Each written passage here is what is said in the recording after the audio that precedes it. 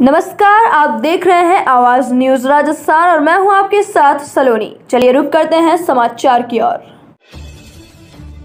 अनूपगढ़ से विधानसभा क्षेत्र में, अनूपगढ़ में अग्रवाल धर्मशाला में रविवार को आम आदमी पार्टी अनूपगढ़ का जन सम्मेलन रखा गया है, जिसमें आम आदमी पार्टी के लोकप्रिय बड़े नेता पहुँच रहे हैं, जिसमें पंजाब से अबोर अलका इंचार्ज और पूर्व विधानसभा प्रत्याशी भाई दीप कम्बोज, दिल्ली से मौजपुर काउंसलर और उत्तर प्रदेश के प्रदेश सचिव भाई नदीम अहमद और फतेहपुर विधानसभा प्रत्याशी और भाई तेब खान पहुँच रहे हैं। इस कार्यक्रम की सफलता के लिए पार्टी कार्यालय अनूपगढ़ में एक बैठक का आयोजन किया गया, जिसमें माइनॉरिटी विंग बीकानेर संभाग अध्यक्ष अस्कर अली चुम्बड़ ने बताया है कि अगले साल राजस्थान में विधानसभा का चुनाव होने जा रहे हैं और युवाओं की पहली पसंद के रूप में आम आदमी पार्टी आगे बढ़ रही है।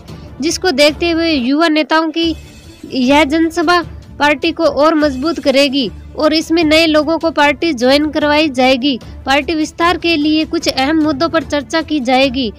युवा नेता भाई राहुल सिंह ने कहा है कि युवाओं को ज़्यादा से ज़्यादा आम आदमी पार्टी से जुड़ना चाहिए ताकि राजस्थान का विकास कराया जा सके। इस दौरान कानाराम नोकवाल अरबाज खान, आकाशदीप राजेंद्र, विकी हुड्डा, अमित फौजी इत्यादि मौजूद रहे। श्री गंगानगर ज़िले से डेल सरस्वती की खास रिपोर्ट।